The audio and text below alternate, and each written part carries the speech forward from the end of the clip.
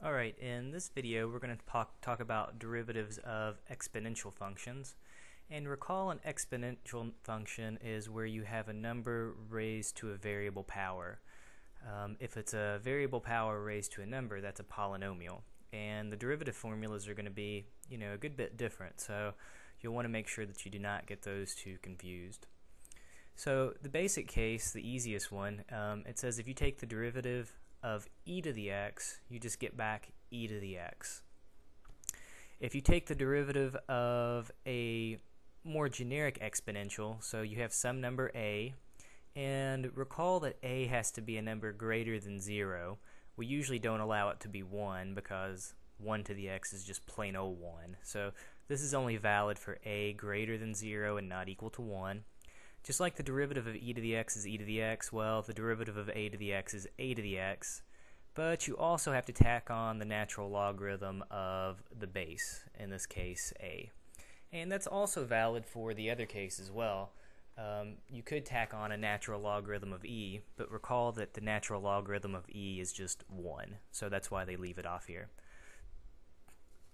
So an example of um, a, kind of a simple example of the second formula. If you take the derivative, say, of 3 to the x, you've got a number to a, a variable power.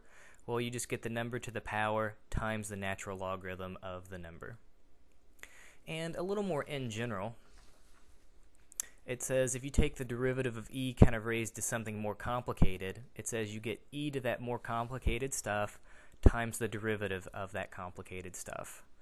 Likewise, if you have a raised to some complicated stuff, the derivative of that, well, you get a to the complicated stuff times ln of a.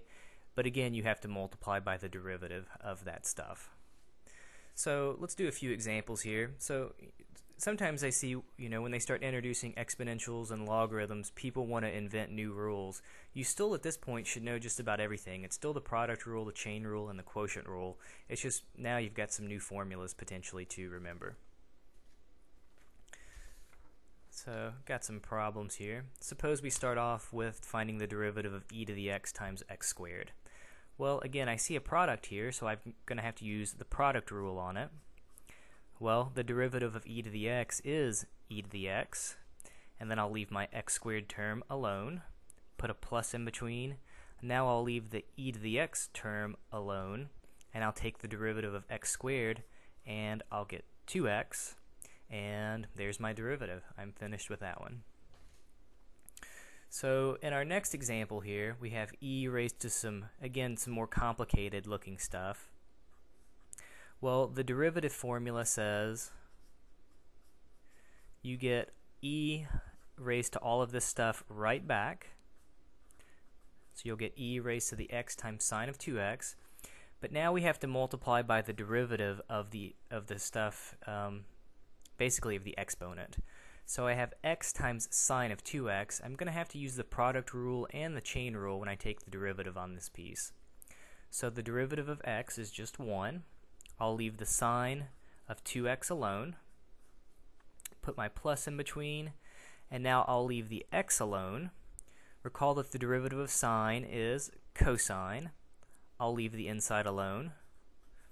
And then by the chain rule, I have to multiply by the derivative of the inside, so I need to multiply that by a times 2. And I'm running out of room here on my paper, so I'm just going to squeeze the times 2 down here at the bottom. So obviously this should all be on the same line here. Um, and that would be the derivative. So again, you get e to the stuff times the derivative of the stuff, but I have to remember when I take the derivative of that stuff, I'm going to have to go back to my old still product rule and chain rule. So one more example here, um, one without without e.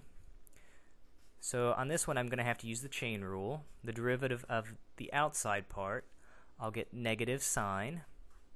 I'll leave the inside part alone. So I'll get negative sine raised to the 2 pi times t. But now I have to multiply by the derivative of the inside stuff. Um, so the derivative, it's like having a to some stuff.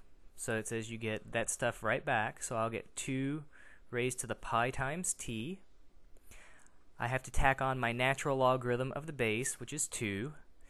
And then I have to remember to multiply by the derivative of the exponent.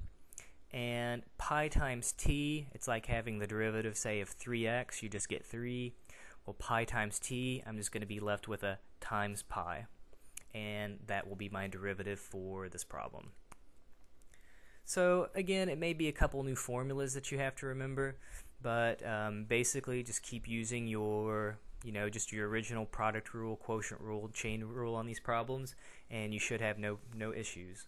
So um, if you have other problems you would like to see feel free to visit our website justmathtutoring.com there's a link on the left free video lessons just go there and there's a whole bunch of videos and you can find some more examples of what you need